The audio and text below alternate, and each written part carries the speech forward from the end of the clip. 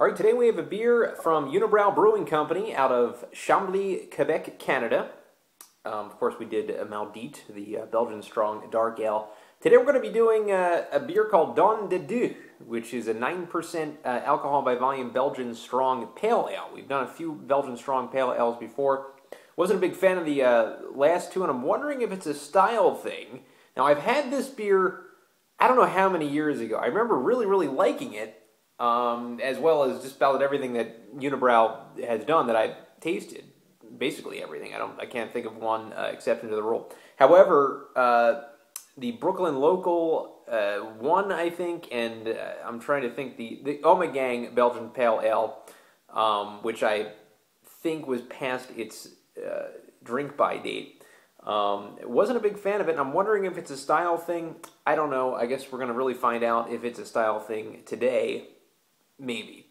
Um, of course, as you know, uh, it's kind of a, a, style that basically takes the Belgian pale ale and puts it on steroids. High uh, alcohol by volume, higher alcohol by volume. They actually call this one a triple wheat ale. Um, and I mean, it can range from a hidden kind of alcohol content to spicy to just really, really there. So it's, it's kind of almost a catch-all, I guess. Um, it's just a light-colored ale that is not an American pale ale, I guess.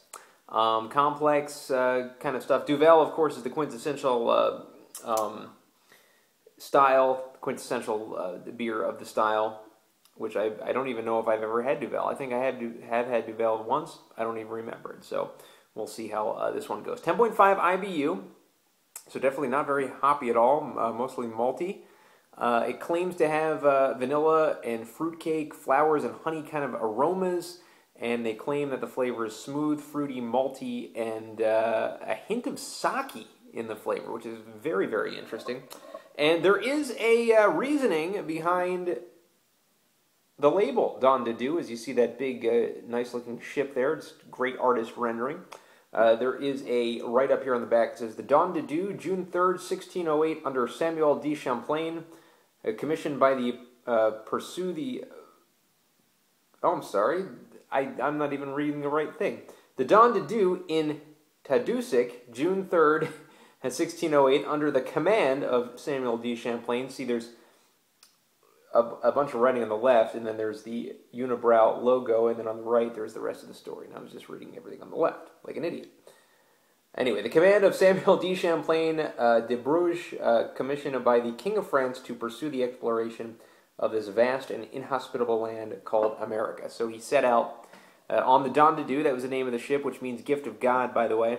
and uh, what he ended up doing was discovering the city of Quebec in Canada. So of course, this is uh, the region where this beer is, so an homage to Samuel de Champlain and his ship, the Don de Dieu. So we open her up. Uh, love the gold wrappings that all the Unibroue brews have. We'll pour her into a chalice,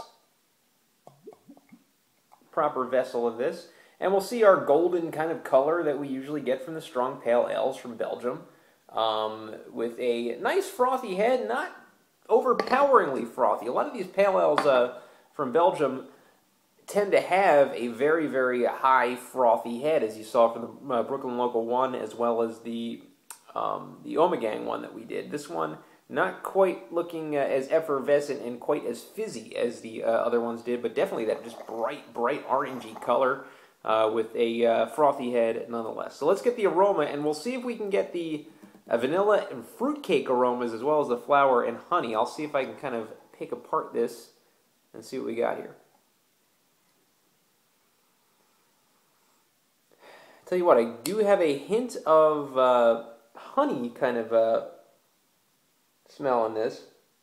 Almost smells like a triple uh, in a way. Uh, again, they label this as a triple wheat ale, but I think the official style is Belgian Strong Pale Ale is what the category it really falls under. It really does uh, smell um, triple-ish, almost like a uh, like a golden monkey uh, kind of a triple kind of smell to this. So definitely fruity, definitely like uh, just citrusy, I would say. Uh, vanilla, I'm not getting fruitcake. I'm not getting at least uh, as far as the aroma. Maybe a little bit of the fruitcake. I'm not too familiar with the fruitcake scent anyway, because I don't really eat it, but that's apparently what it smells like. Let's get the flavor now of Unibroue Don de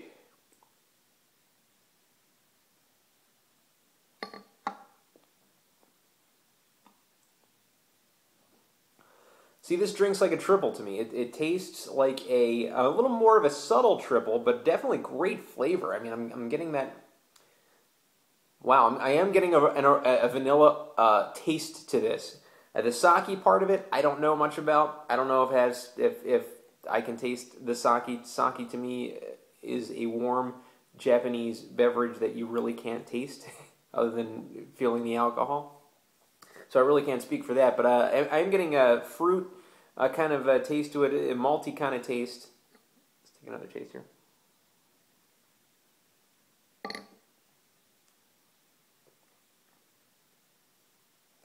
It's a great tasting beer. I mean, it's very uh, effervescent. It's very uh, uh, malty, fruity, uh, and a beer that definitely has has the taste I think to it that it the other strong pale ales that I had from Belgium, the Belgium strong pale ales, didn't quite have. So this one is just a, you know, if you classified it as a triple, I would believe you. Um, it is Don Dieu, and I'm going to give Don Dieu from Unibroue Brewing Company a 9 out of 10.